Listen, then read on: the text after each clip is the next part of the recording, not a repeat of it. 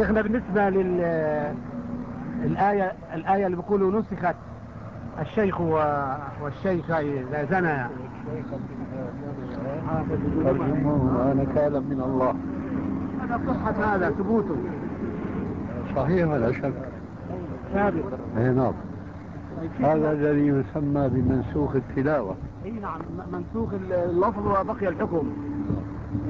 لكن بالنسبة لو نظرنا للآية شيخنا يعني الشيخ والشيخة إذا زنيا فحكمهم الرجم طب لو إني شاب ومتزوج وزنى كيف نطبق عليه الآية؟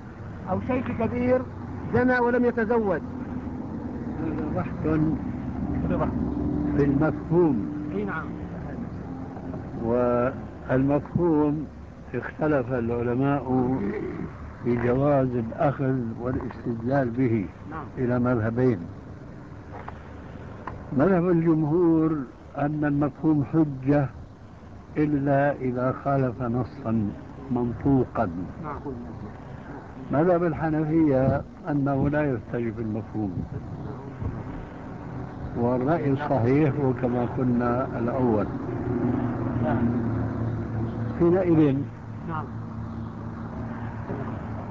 كل طالب علم يعلم أن هذا المفهوم الذي جاء في الآية المنسوخة التلاوة.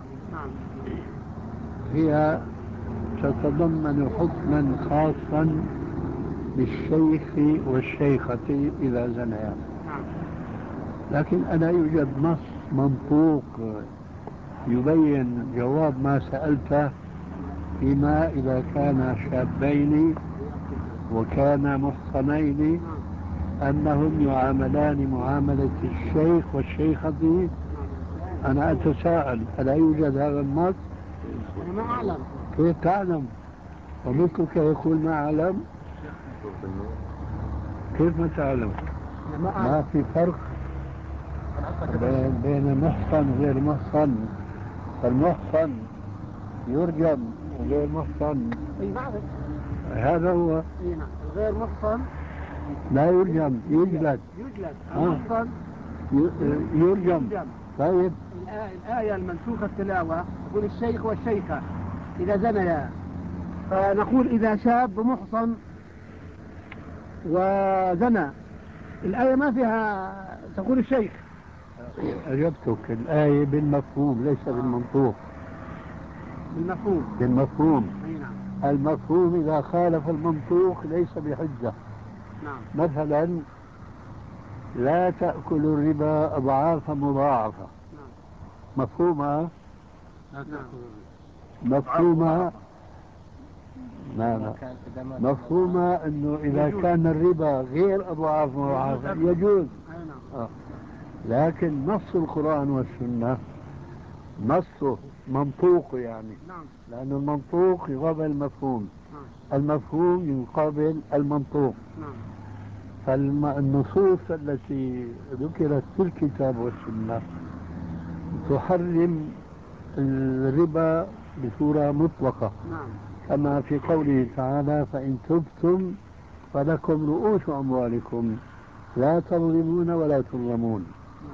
والأحاديث وما أكثرها درهم ربا يأكله الرجل أشد عند الله من ست وثلاثين زنية نعم. هذه كلها منطوقات نعم. آه. ماذا تفعل هذه المنطوقات آه ترفع تنسخ مفهوم آية لا تأكل الربا أضعافا مضاعفة. منطوق التفريق في النص القرآني. نعم. تذكر النص وأنت الحافظ؟ هل يفرق بين المحصن وغير المحصن آية. ها؟ الزانية والزاني فاجلدوا كل واحد منهما مئة جلدة. ولا تأخذكم بهما رافة في دين الله إن كنتم تؤمنون بالله واليوم الآخر. وليشهد عذابهما طائفة من المؤمنين. لا بدنا التفريق بين المحصن وغير المحصن. هذه في الغير محصن.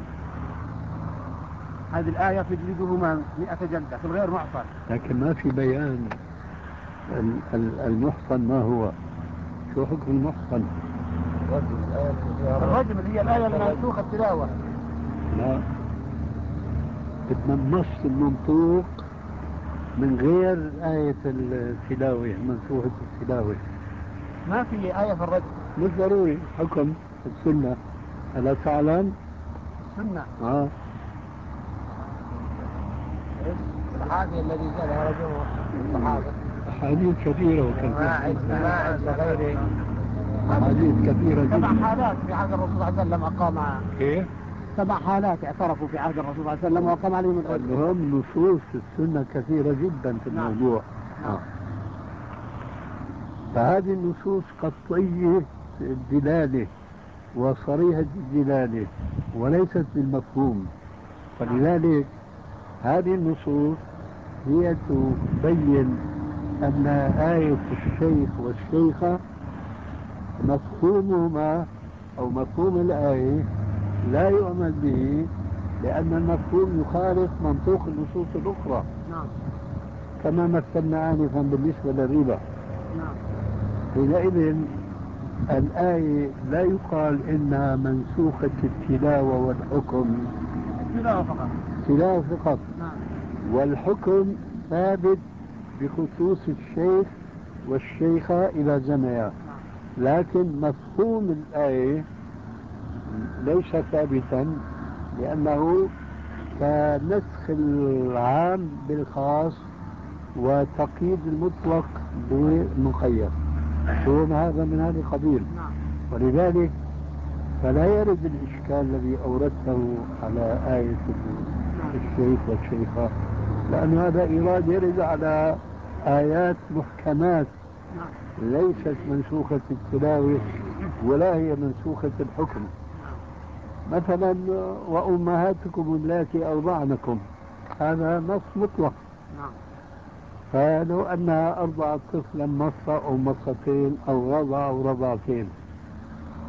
عموم أو مطلق الآية يشمل هذا الرضيع. لكن لما جاءت النصوص في السنة تبين أن الرضاع المحرم هو ما أنبت اللحم وأنشز العظم آه، هو خمس رضاعات مشبعات إلى آخره.